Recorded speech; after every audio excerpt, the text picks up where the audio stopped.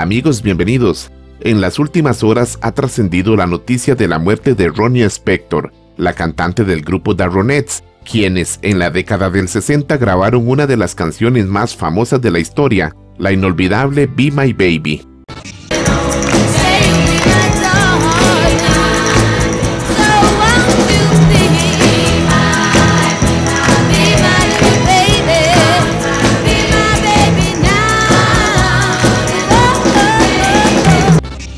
Si te gusta la música del ayer, de seguro habrás escuchado esta icónica canción, la cual ha sido versionada cientos de veces a través de los años, no solamente en inglés, sino en español con el título Tú serás mi baby, por grandes artistas como Los Urfs, Tony Ronald, la española Karina, la colombiana Jimena e incluso Onda Vaselina, solo por citar algunos. La cantante estadounidense murió a los 78 años y en un comunicado su familia expresó, nuestro amado ángel en la tierra, Ronnie, dejó este mundo en paz hoy, después de una breve batalla contra el cáncer. La cantante de los ojos de gato nació con el nombre de Verónica Greenfield en el Harlem hispano de Nueva York el 10 de agosto de 1943. Spector era hija de una madre afroamericana cherokee y un padre irlandés estadounidense.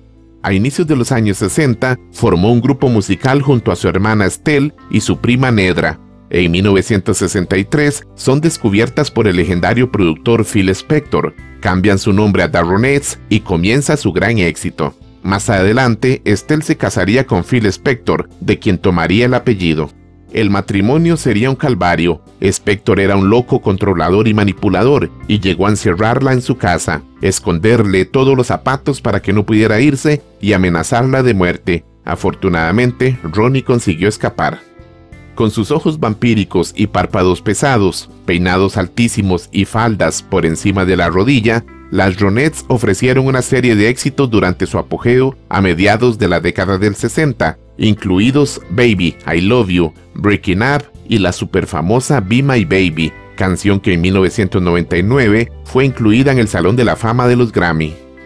Junto con las Supremes, las Ronettes tuvieron tanta fama que fueron el único grupo de chicas que realizó una gira con los Beatles, y cuando el trío fue incluido en el Salón de la Fama del Rock en el 2007, Kate Richards de los Rolling Stones recordó los tiempos cuando ellos habían sido sus teloneros. No necesitaban nada, tocaron mi corazón allí mismo y todavía lo tocan, dijo Richards en esa ocasión. Las Ronettes se separaron en 1967 después de una gira de conciertos por Europa. Ronnie siguió trabajando como solista pero nunca volvió a alcanzar el éxito mundial. El comunicado de su familia también agregó, su sonido alegre, naturaleza juguetona y presencia mágica vivirán en todos los que la conocieron, escucharon o vieron. Buen viaje a Ronnie Spector y gracias por la música.